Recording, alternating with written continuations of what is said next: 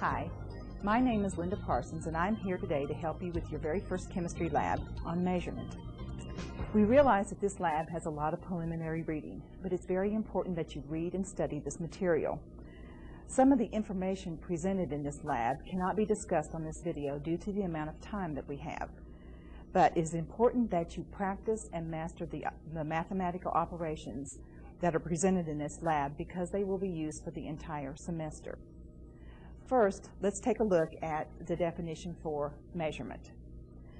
A measurement determines the quantity, dimensions, or extent of some object in comparison to a specific unit. A unit is a definite quantity adopted as a standard of measurement, such as grams or meters. In your chemistry labs, you will be asked to measure substances in grams for weight, milliliters for volume, and centimeters for length. Some examples might be the weight of a compound used in an experiment. You could measure out 2.567 grams of potassium chlorate. This would be recorded on your report sheet as 2.567 G. Or if you use 15.10 milliliters of sodium hydroxide solution, then you would record this value as 15.10 ml. Or for the measurement of the length of a block, you might get 5.13 centimeters, which would be recorded as 5.13 cm. Measured values are not exact numbers. There is always some amount of uncertainty in every measurement. the instrument you use to find your measurement in the lab will determine the number of decimal places that will be in your measurement. To illustrate this concept, let's look at some of the instruments you could use in the lab to measure with. Let's first of all take a look at two different balances in the lab.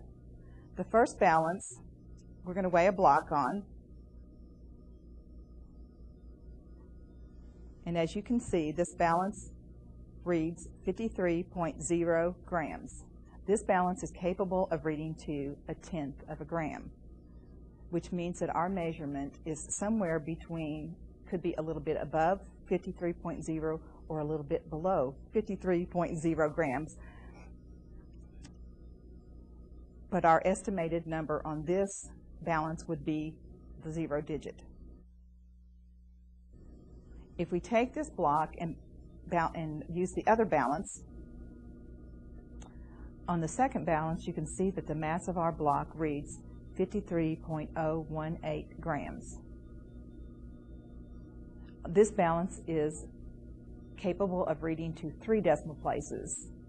But even on this balance, the 8, the last digit in our number, is still our uncertain digit. So our measurement can be just a little bit above 53.018 or a little bit below 53.018. Now let's go to volume.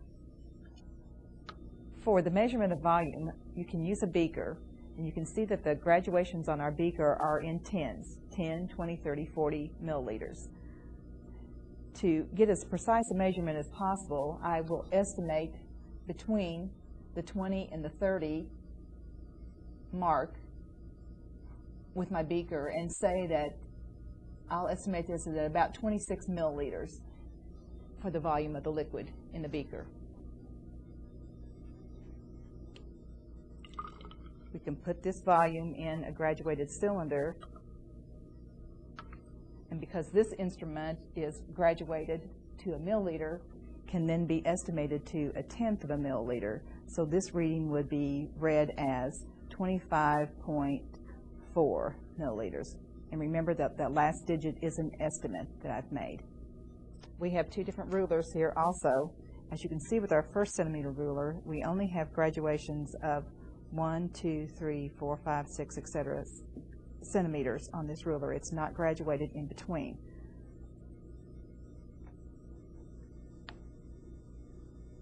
So let's measure our block of wood.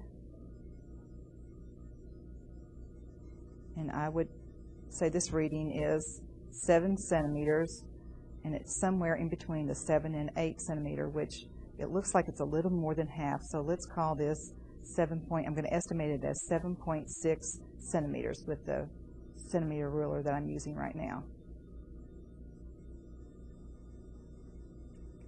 Okay, with the second centimeter ruler, the ruler you'll be using in class is graduated to a tenth of a centimeter. So there are graduations between the centimeter marks. So let's measure the block with this centimeter ruler.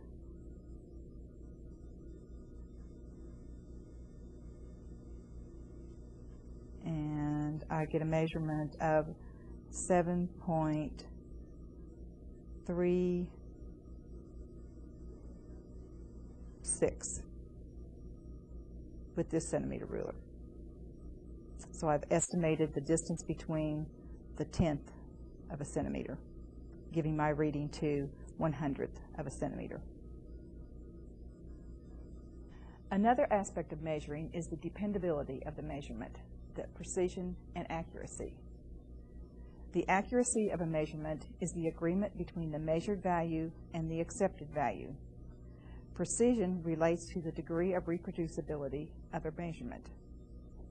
We can show an analogy using a dartboard of precision and accuracy.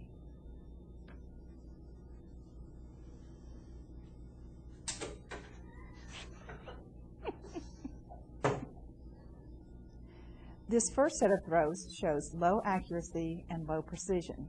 The darts are not close to the bullseye and are not close to each other. The second set of throws shows high precision but low accuracy. The darts are all close together but not close to the bullseye. Remember that accuracy is the agreement between the measured value and the accepted value. This difference is called the error. Error is the measured value minus the accepted value. An error value can be a positive or a negative number and has the same unit as the measurement. A better way to see the, mag the magnitude of the error is to determine the relative error. Relative error shows how big the error is in proportion to the accepted value. Relative error is equal to the error divided by the accepted value. Usually this is expressed as a percent. So percent error would be the error divided by the accepted value times 100. Error and percent relative error show accuracy. Precision is the reproducibility or agreement of a group of ind independent measurements with each other. Precision can be determined by finding the deviation. Deviation is the difference between a specific measurement and the average of the set of measurements. This difference is always a positive number, so deviation is defined as either the measured value minus the average value or the average value minus the measured value, whichever gives you a positive number. The average deviation is the sum of all the deviations divided by the number of measurements. Average deviation equals the sum of the deviations divided by the number of measurements. Relative average deviation is the average deviation divided by the average of the measurement. It's usually also expressed as a percent. So the percent relative average deviation would equal the average deviation divided by the average of the measurements times 100. In this experiment, you will be measuring the four sides of a block marked A, B, C, and D, and recording those on your report sheet. To measure your block, you'll line your ruler, the left-hand side of your ruler up with the left-hand side of the block right on the zero mark and then come across to the right hand side and read where the block meets the ruler. In this case, it looks like it's about 7.21 centimeters. And then record that on your report sheet. You'll need to measure and record the other three sides of your block and then do the calculations required for your lab. There are two things I'd like to emphasize with this lab. The first is the importance of writing the unit of measurement with your measured value. Always record the unit with your value. The second is the importance of mastering the information that's in this first lab. It'll be important for you in future labs. Good luck.